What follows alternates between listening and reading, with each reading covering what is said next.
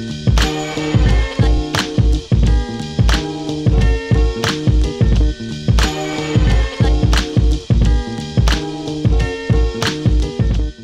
Robben Island, when things got very bad, I found inspiration in a poem. A poem? A Victorian poem. Just words, but they helped me to stand when all I wanted to do was to lie down. But you didn't come all this way to hear an old man talk about things that make no sense. No, no, please, Mr. President. It makes complete sense to me. On the day of a big match, say a test, in the bus on the way to the stadium, nobody talks. Ah, yes. They're all preparing. Right. But when I think we're ready, I have the bus driver put on a song. Something I've chosen, one we all know. And we listen to the words together. And it helps. We like it. We ah terrific. Yeah, I hope I hope you. There you go. Is this for me? So long. Four more. All right, we're rolling. So tell us why it's important to share this particular moment in history with the world. Money. We hope to make money with it. A lot of money. Don't you have a lot of money? Uh, no. Need more. Never more. have a lot. Always want more. Yeah. More. What? You were looking for something else, something I deeper was. than I that. wanted you to just go there, but I mean, if it's for the money. It's a it's it's it's uh, it's a wonderful wonderful um, story. Can you say a parable? Does it work as a parable? Uh, sure. Uh, people use the term metaphor, but it may be more of a parable in terms of what is possible in in life. What is possible? What a statesman uh, with courage and foresight uh, can accomplish Yeah. uh, how he can coerce uh, those who find those who are like-minded and uh, in, in, bring them into his way of thinking. And it was what happened with Madiba and Francois. He just called this young man to uh, come and see him and have a talk. Um, freaked Francois right out that the president wants to, and pours him tea, and then and sits and tells him we need to we need to work, you and I, we need to exceed our own expectations, and we as leaders must in, uh, get others to exceed their expectations. I remember when I was invited to the 1992 Olympics in Barcelona. Everybody in the stadium greeted me with a song.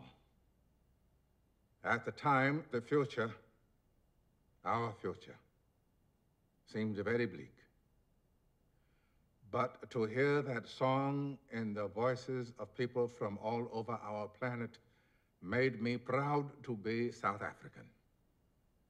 It inspired me to come home and do better. It allowed me to expect more of myself. May I ask, what was the song, sir? Well, it was Nkosi Sikelel' iAfrika. A very inspiring song. We need inspiration, Francois.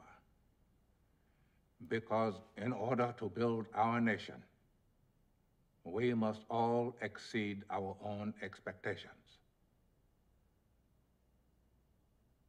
So uh, also he, you know, it's about the, that miracle of that country not kind of devolving into civil war and.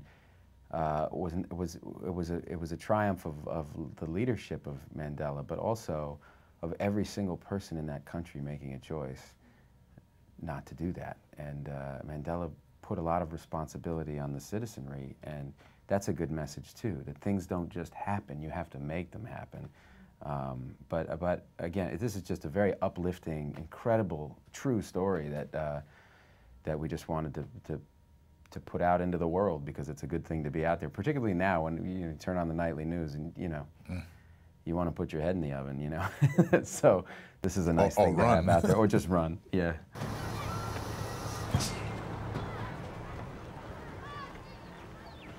Don't forget, we got cameras on us at all times.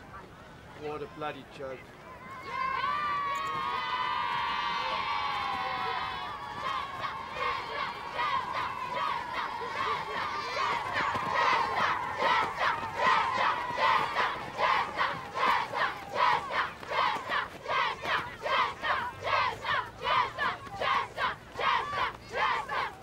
Chester, I reckon you're up.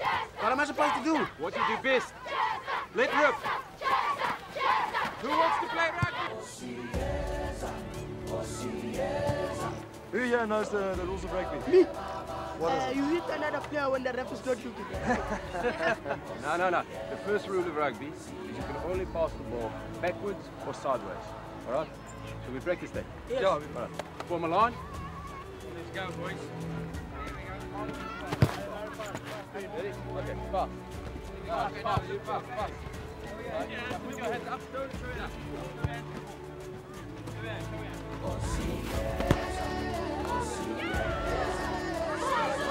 Um,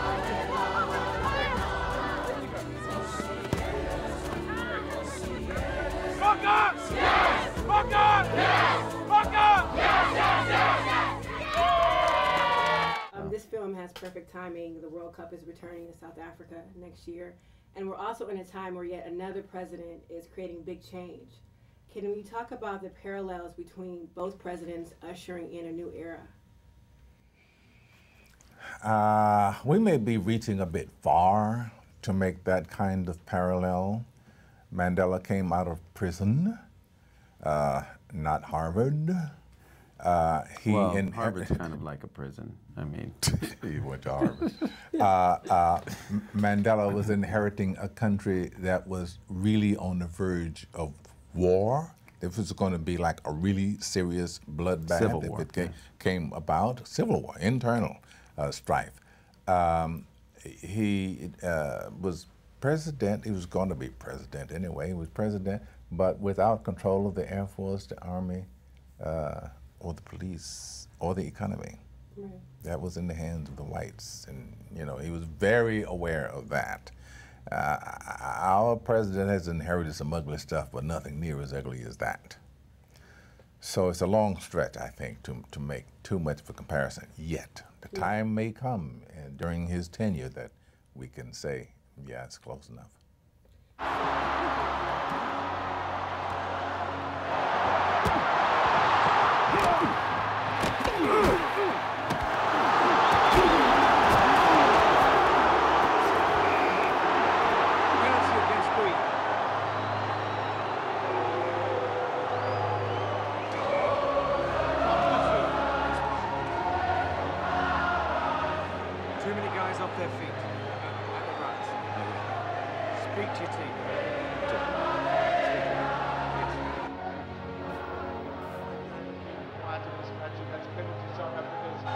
Heads up! Look in my eyes.